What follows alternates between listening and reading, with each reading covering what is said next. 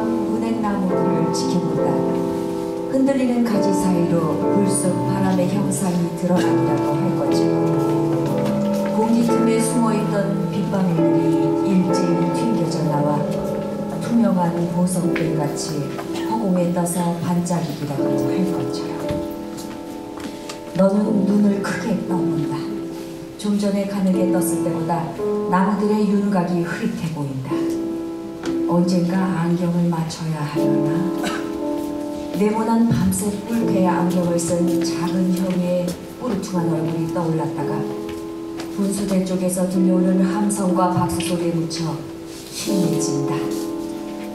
좋은 말로 할 때 들어. 당장 집에 와. 단단히 화가 나 있던 작은 형의 목소리를 털어내버리려고 너는 고개를 흔든다. 여러분, 적십자 병원에 안치되었던 사랑하는 우리 시민들이 지금 이곳으로 들어오고 있습니다. 동해물과 백두산인 말을 못알도록 오늘 적십자 병원에서 오는 죽은 사람들은 모두 몇이나 될까? 한 서른 명 될 거다. 함께 일하던 형들과 누나들은 모두 추도실에 갔다. 여러 검을 관 앞에서 세운 유족들은 왼쪽 가슴에 검은 리본을 꽂고 몸속에 모래나 헝겊을 채운 허제비들처럼 느릿느릿 관을 따라 나갔다. 무궁화 삼천리하려 며 꽃이 아름다운 강산이란 걸까? 꽃같이 아름다운 강산이란 걸까? 애국가가 끝났는데도 아직 관이 정리되지 않았나 보다. 군중의 웅성거림 사이로 누군가 울부짖는 소리가 희미하게 들린다.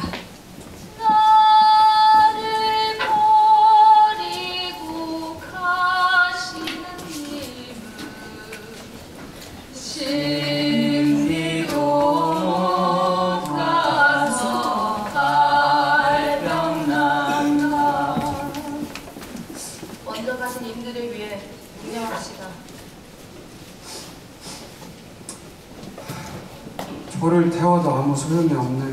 냄새를 견디며 너는 강당에 들어선다. 날이 흐려 실내는 마치 저녁 무렵 같다. 추진 쪽으로는 추도식을 마친 관들이 가지런히 모여있고 아직 가족이 나타나지 않아 입관을 못한 서른 두 사람의 몸들은 흰 무명천에 덮인 채 넓은 창 아래 누워있다.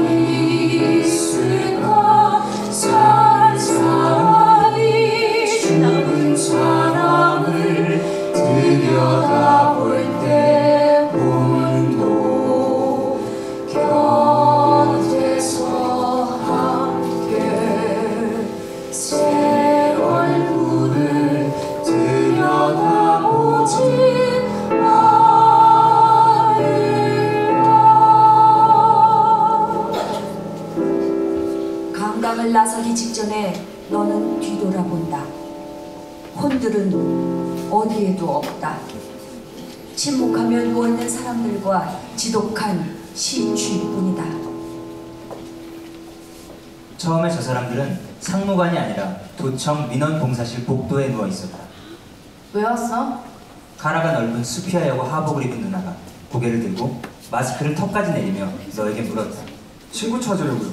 여기서 만나기로 했어? 아니요. 저 사람들 좀. 그럼 확인해봐 복도 벽을 따라 누운 스무 남은 사람들의 얼굴과 몸을 너는 차근차근 들여다봤다. 확인을 하려면 잘 들여다봐야 하는데 오래 눈을 두기 어려워 자꾸 눈을 깜빡였다. 없어? 없어요. 전대병원하고 적십자병원 영환씨 가봤어? 예. 친구 부모님은 어디 계시고 네가 다녀? 아버지만 계신데 대전서 일하시고 친구랑 친구 누나 둘이서 우리 집 상하방에서 자취하거든요. 시외 전화 오늘도 안 되지. 안 돼요. 몇 번이나 해봤는데. 그럼 친구 누나는? 그 누나가 일요일부터 안 들어와서 둘이서 찾으러 다녔거든요. 근데 어제 요 앞에서 군인들이 총 쐈을 때그 친구가 맞는 걸 동네 사람들이 봤다 그래요.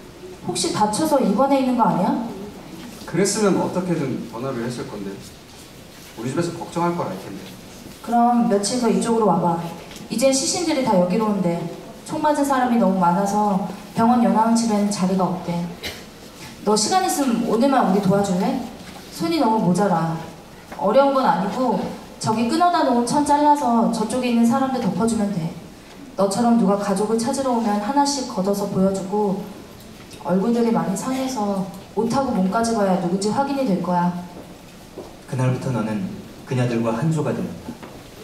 서울에서 대학을 다니다 휴교령 때문에 내려왔다는 진수영은 너를 처음 보고 놀라며 물었다. 야, 너 1학년 아니야?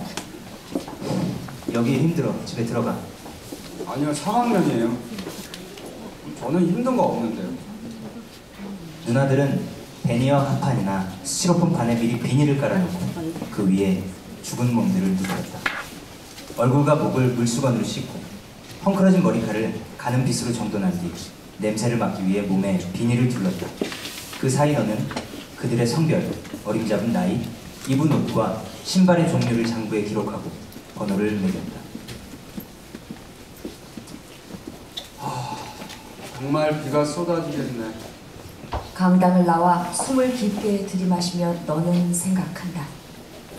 더 깨끗한 공기를 마시고 싶어 뒤뜰을 향해 걸어가다가 너무 멀어져선 안 된다는 생각에 건물 모퉁이에서 멈춘다. 마이크를 쥔 젊은 남자의 목소리가 들린다. 저들이 시키는 대로 무조건 무기를 돌려주고 항복할 수 없습니다. 저들이 먼저 우리 시민들의 시신을 돌려줘야 합니다. 끌고 간 시민 수백 명도 풀어줘야 합니다. 자 무엇보다 여기서 일어난 일들의 진상을 전국에 밝혀서 우리 명예를 회복시킨다는 약속을 받아내야 합니다. 그런 다음 총기를 반납하는 게 옳지 않겠습니까, 여러분? 너무 많은 피를 흘리지 않았습니까?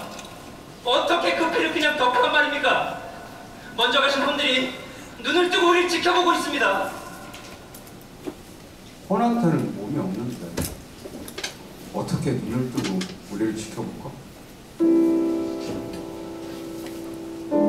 지난 겨울 외할머니의 임종을 너는 떠올린다. 그 온화한 성품만큼이나 외할머니의 임종은 조용한 것이었다. 산소 마스크를 쓴 채 눈을 감고 있던 외할머니 얼굴에서 새 같은 무언가가 문득 빠져나갔다. 순식간에 주검이 된 주름진 얼굴을 보며 그 어린 새 같은 것이 어디로 가버렸는지 몰라 너는 멍하게 서 있었다. 지금 상무관에 있는 사람들의 혼도 갑자기 새처럼 몸을 빠져나갔을까? 놀란 그 새들은 어디 있을까? 투두 빗방울이 네 상고머리로 떨어진다. 얼굴을 들자 뺨으로도 이마로도 마구 떨어진다. 삽시간에 빗발이 되어 쏟아진다. 마이크를 쥔 남자가 다급히 외친다. 앉아주십시오, 여러분. 아직 추도식이 끝나지 않았습니다. 이 비는 먼저 가신 분들이 흘리는 눈물입니다. 교련복 칼라 속으로 들어온 선득한 빗물이 러닝 셔츠를 적시고 허리까지 흘러내린다. 혼의 눈물은 차갑구나. 팔뚝에 등에 소름이 돋는다. 어제 오후 엄마와 작은 형이 함께 나를 데리러 왔을 때 정대를 찾아야 하니까 못 들어간다고 내가 우기자 엄마는 말했다. 병원마다 같이 찾아다녀보자 해. 사람들이 여기서 널 봤다고 그래서 얼마나 놀랬는지 아냐. 세상에 시체가 저렇게 많은데 무섭지도 않냐. 겁도 많은 자석이. 군인들이 무섭지 죽은 사람들이 뭐가 무섭다고요? 기관총하고 탱크가 있는 정예부대 계엄군이 6.25 때 쓰던 카빈총 들고 있는 시민군이 무서워서 안 들어오는 거 같냐? 작전 날짜만 보고 있는 거야. 너 여기다가 죽어. 내가 뭘 했다고 죽어 여기서 잔일 거둔 거밖에 없는데 걱정 마요. 며칠만 일 거들다가 들어갈게요. 정대 찾아서. 나는 어색하게 손을 흔들며 상무관으로 뛰어들었다.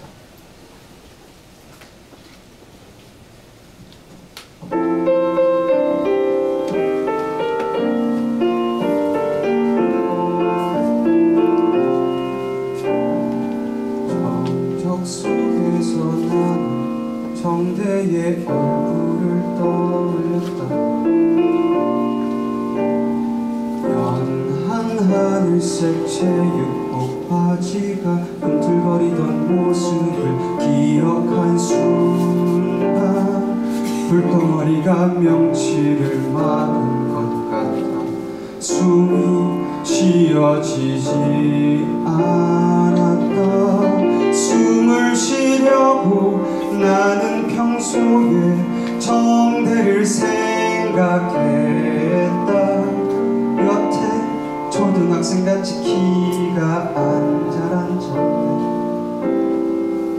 그래서 정대 누나가 빠듯한 형편에도 우유를 배달시켜 먹이던 정대 정미 누나의 진남매가 맞나 싶은 못생긴 정대 칠판 주유개는 못 털어가지고. 우리 누나 둘라고 아니 너희 누나는 그거를 어디다 쓴대 몰라. 아니 근데 이게 자꾸 생각이 난다는데 중학교 다닐 때 야 공부보다 주번이 더 재밌었디야. 아니 한 번은 만우절이라고 애들이 그냥 칠판 가득 글씨를 막 이렇게 막, 막 써놨대야. 총각 선생 고생 좀 해보라고. 근데 주번 누구냐? 하고 그 선생이 막 호통을 쳐갖고 누나가 그냥 나가갖고 거기 그냥 열심히 지웠대야. 그리고 나서는 이제 밖에 탁 나가가지고 다들 수업하는데 그냥 혼자 복도에 서갖고 창문 탁 열어놓고 이거를 탁 잡고 그냥 막대기를 탁 털었대야. 야야 중학교 2년 다닌 것 중에 희한하게 그때가 제일 생각난다고 막, 막 그러더라.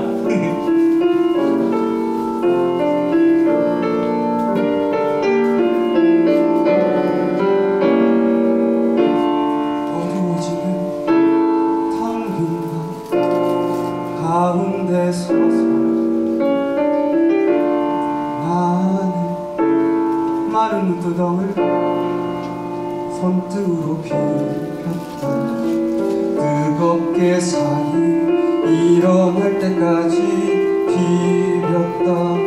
고통이 느껴지는 가슴뼈 가운데 오복한 곳을 주먹으로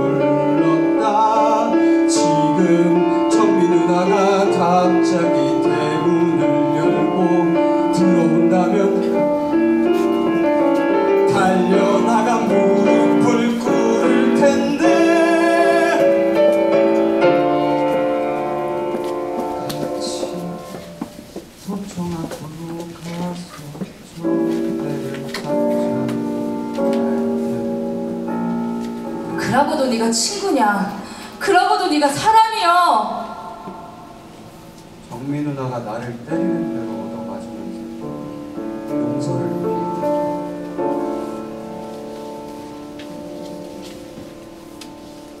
스무 살 정민 누나도 키가 작다. 조금 짧다 싶은 단발머리여서 뒤에서 보면 여중생이나 초등학교 고학년생 같다. 하지만 정대는 혀를 내두르며 너에게 말했다. 아유 야 사람들이 몰라서 그래. 아버지보다 누나가 훨씬 무섭다께. 정대네가 사랑채에 들어 산 지 이태가 되도록 너는 정민 누나와 제대로 대화를 나눠보지 못했다. 그녀가 다니는 방직 공장은 야근이 잦았다. 첫 겨울엔 자주 사랑채 연탄불이 꺼졌다. 어쩌다 동생보다 일찍 들어온 저녁이면 정민 누나는 부엌머리 네 방문을 가만히 두드렸다. 고단한 얼굴로 짧은 단발머리를 귀 뒤로 넘기고는 저 연탄불 좀. 하고 어렵게 입을 떼었다. 그때마다 너는 점퍼도 안 걸치고 날쌔게 아궁이로 달려나갔다. 불붙은 연탄을 골라 부지깽인 채 건네주면 그녀는 고마워서 어쩔 줄 몰랐다. 처음으로 네가 정민 누나와 긴 이야기를 나눠본 건 작년 초겨울 저녁이었다. 아야, 네 혹시 1학년 교과서 다 버려버렸냐? 1학년 거야? 응. 12월부턴 야하게 댕기게 됐는데 시상이 바뀌어서 인자부터는 함부로 잔업을 못 시킨다 안 하냐? 월급도 오랄 걸안 하고 이 기회에 공부 좀 해보려고야. 시간이 겁나 지나버렸으니까 이 1학년 거부터 먼저 거시기 하고 잉. 정대 방학하면 2학년 거부터 보면 될 것 같은데. 잠깐만 기다리세요. 저 다락에 올라갔다 올게요. 자, 여기. 오메 세상에. 아따 니는 멋이가 어쩌면 이렇게 착실하다냐. 우리 정대는 싹 다 내뿌렸는데. 정대한테는 말하지 말그라잉. 아 그란해도 지 땜시 나가 학교 못 댕겼다고 눈치 본디. 중학교 검정고시 합격할 때까지만이 모른 척 해주라잉. 아 혹시 아냐. 정대 대학교 보낸 다음에는 나도 열심히 해갖고 대학 갈 수 있을란지. 어떻게 몰래 공부를 하겠다는 그때 나는 궁금했다. 저렇게 조그마한 등으로 참고서를 펼치면 가려지기나 할까? 두 평도 안 되는 단칸방에서 정대도 일찍 자는 게 아니라 밤늦게까지 숙제를 하는 거야. 그렇게 잠깐 궁금했을 뿐인데 그 후로 자꾸 떠올랐다. 잠든 정대의 머리맡에서 내 교과서를 펼칠 통통한 손. 조그만한 입술을 달싹여 외울 단어. 세상에, 너는 멋이면 어쩌면 그렇게 작실하냐? 허, 생들거리던 고단한 미소. 짐칸 가득 관을 실은 두 번째 트럭 상무관 앞에 정차한 자 6시에 여기 문 닫는다 너 그때 집에 가저 안에 사람들은 누가 지키고요? 오늘 밤에 군인들이 들어와 유족들 다 집에 보낼 거야 6시 이후에는 아무도 여기 있으면 안돼 죽은 사람들밖에 없는데 군인들이 여기까지 온다고요? 병원에 있는 부상자들도 폭도라고 다 쏴죽일 거란 말이 있는데 야 여기 시신들이고 지키는 사람들이고 가만둘 것 같아? 도호야, 어이, 어이 집에 가자니. 엄마가 허겁지겁 계단을 뛰어 올라와 네 손을 잡는다 군대가 들어온단다. 지금 집에 가자니. 억센 엄마의 손가락을 하나씩 다 떼어냈다. 너는 날쌔게 안으로 도망친다. 뒤따라 들어오려는 엄마를 집으로 관을 옮겨가려는 유족들의 행렬이 가로막는다. 6시에 여기 문 닫는데요, 엄마. 문 닫으면 나도 들어가려고요. 아이고 꼭 그래라 해. 해지기 전에 와. 다 같이 저녁밥 묵게. 엄마가 간 지 한시경이 채 되지 않아 새하얗게 센 머리에 먹색 중절모를 쓰고 주먹 지팡이를 흙바닥에 짚으며 후들후들 걸음을 내딛고 있는 노인을 보았다. 누구 찾으러 오셨어요? 우리 아들하고 손녀 나가 어저께 화순서 경운기 얻어타고 왔단 말이오 경운기가 시내로는 못 들어온다고 하는 거라 그저 그 군인들이 없는 산길을 겨우겨우 넘어갔고 응? 우리 막둥이가 분- 붕어리요 애려서 열병을 알아갖고 말을 못해요 엊그저께인가 그 광주에서 내려온 사람이 그러니 시내에서 군인들이 붕어리를 곰봉으로 두드려 죽였다는데 벌써 오래되었다고 그래서 예? 아, 저, 저 사람들은 누구요? 정수리까지 천을 쓰고 있는 사람들을 가리키며 노인이 묻는다. 의무를 피하고 싶어서 나는 주저한다. 이 순간이면 언제나 주저한다. 눈이 좀 더 나빠져서 가까운 것도 흐릿하게 보이면 좋겠다. 그러나 아무것도 흐릿하게 보이지 않는다. 무명천을 걷기 전에 나는 눈을 감지 않는다. 피가 비칠 때까지 입술 안쪽을 악물며 천을 걷는다. 걷은 다음에도 천천히 다시 덮으면서도 눈을 감지 않는다. 달아났을 거다. 그때 쓰러진 게 정대가 아니라 이 여자였다 해도 나는 달아났을 거다. 형들이었다 해도 아버지였다 해도 그 엄마였다 해도 달아났을 거다. 채머리 떠는 노인의 얼굴을 돌아본다. 하지 않을 것이오 이승에서 가장 끔찍한 것을 본 사람처럼 꿈쩍거리는 노인의 두 눈을 마주본다. 아무것도 용서하지 않을 것이다. 나 자신까지도.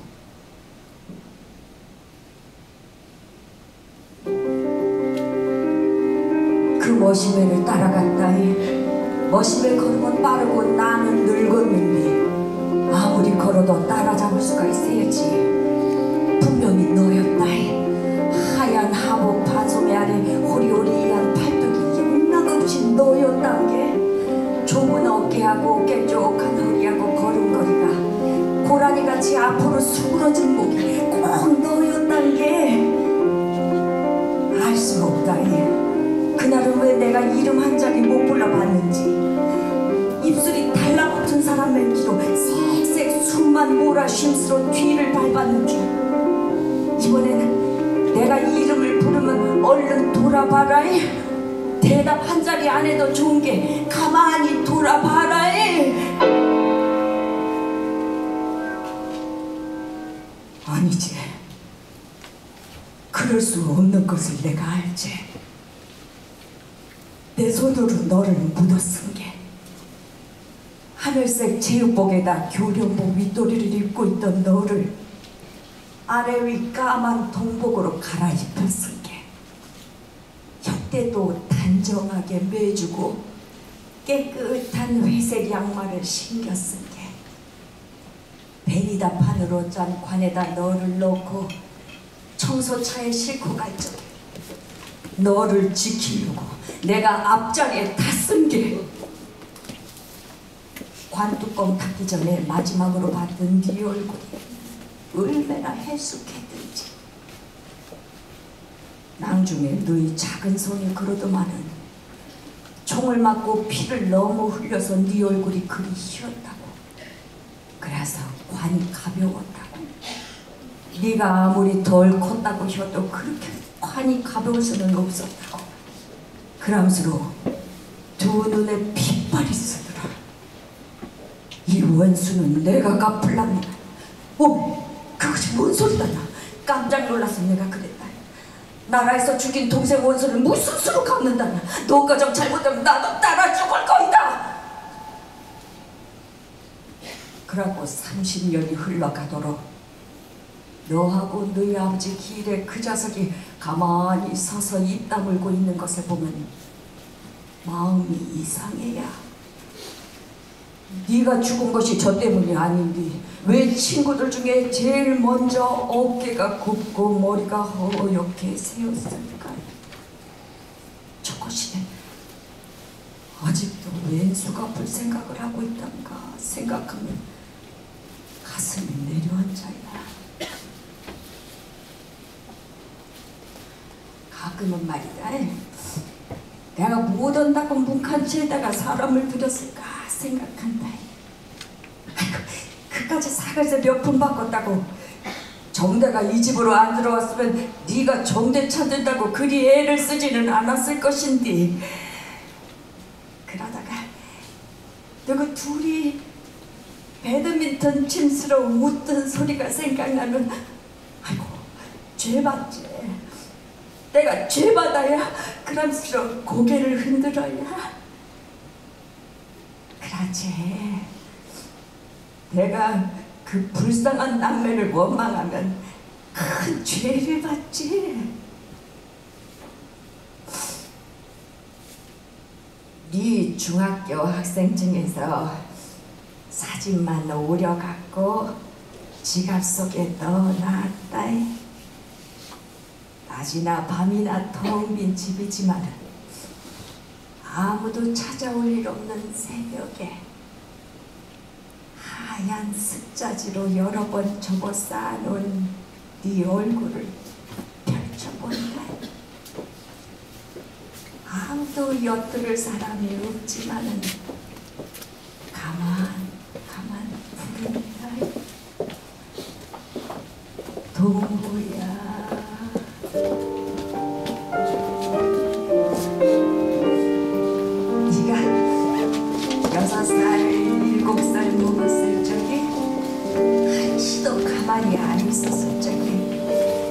성들이 다 학교에 가버리면 너는 심심해서 어쩔 줄 몰랐지